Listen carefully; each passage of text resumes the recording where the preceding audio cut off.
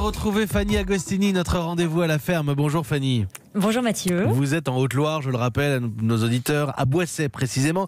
Et dans les- parmi les choses que vous avez redécouvertes en arrivant euh, à la campagne, Fanny, en Auvergne notamment, c'est la notion d'entraide et de solidarité.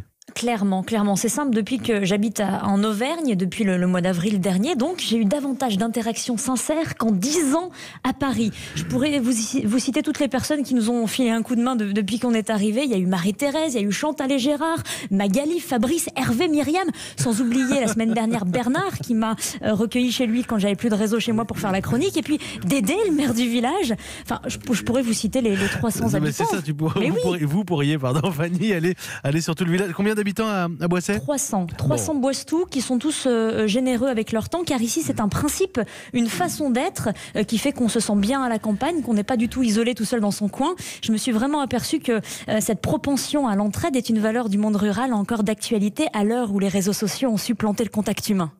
L'entraide et les savoir-faire dont, dont nous pourrions avoir de, de plus en plus besoin, Fanny, dans un monde où il y aura moins de pétrole, un accès aux ressources naturelles plus aléatoire. D'où l'intérêt de cultiver la, solidarité, Mathieu, le sens de la débrouille et aussi la redécouverte des travaux manuels qui est plus qu'une tendance en ce moment. Cela devient un besoin dans nos sociétés ultra dématérialisées euh, qui nous a poussé à, plus de sédentarité et à, et à de la paresse intellectuelle euh, sur certains aspects. Nous sommes en ce moment à la recherche de palpables, de tangibles, de concrets et à explorer aussi toutes ces potentialités que nous portons en nous, les fameux talents cachés. Vous, Mathieu, on le sait tous que le matin vous excellez dans, la conduite de, de vos interviews, dans l'animation radio, mais je suis sûre que vous avez d'autres cordes à votre arc. J'ai fait une très bonne blanquette. Ah, ça c'est pas mal, c'est pas mal et ça peut servir, Si, ça si, peut ça peut- servir surtout si, dans, l'avenir.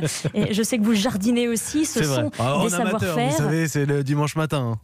Oui, mais c'est déjà pas mal. C'est déjà pas mal. Et euh, il y a aussi une certaine notion thérapeutique derrière tout ça. Euh, Une thérapie euh, qu'utilisent tous ces naufragés du burn-out actuellement. Il y a beaucoup de reconversions, selon l'INSEE. Plein de métiers qui reviennent au goût du jour. Les potiers, les pâtissiers, les tourneurs-fraiseurs, charpentiers, ébénistes, éleveurs, permaculteurs, souffleurs de verre, apiculteurs et j'en passe.